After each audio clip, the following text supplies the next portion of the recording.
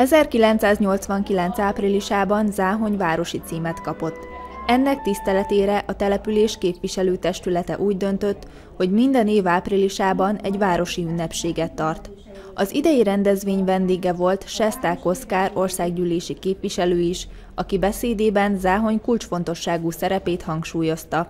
Kulcsfontosságú települése eh, megyénknek Záhony, eh, nem csak megyénknek, talán azzal sem vétek nagyot, hanem azt mondhatnám, hogy talán országunknak is, hiszen ahogy polgármester úr mondta, valóban a kelet kapuja. Azt gondolom, hogy komoly jövő is állhat Záhony előtt. Keleti sejemútról beszélünk, és Magyarország lehet ennek, vagy új sejemútról beszélünk, és hogy Magyarország lehet ennek a végpontja, akkor ennek a kezdőpontja Magyarországon nyilvánvalóan csak is Záhony lehet.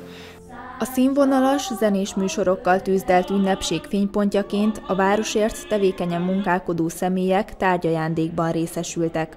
Ezen felül Lukács Tibor gyógypedagógia szakos tanár a közszolgálatáért járó díjat vehette át Záhony polgármesterétől. A város nagyon elismerte ezzel a munkámat, részemről nagyon-nagyon megható, nagyon jó érzés. Nekem a hobbim és a munkám egybeesett.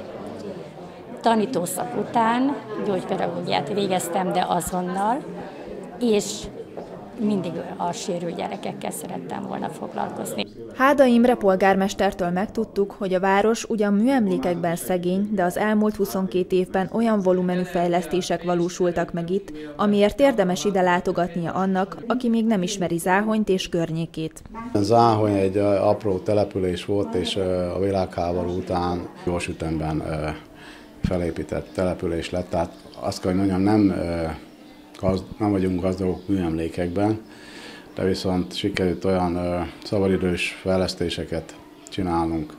Nagyon szép sportlétesítményünk van, a megye talán ö, legnagyobb, legszebb sportlétesítménye. Művődési központunk van, fedett van, ö, nagyon szép kerékpárút a Tisza töltésén, amiről már beszéltem is. Tehát összességében az ideérkezők találhatnak maguknak hasznos elfoglaltságot. Záhony várossá avatásának 22. évfordulója alkalmából rendezett ünnepség állófogadással zárult.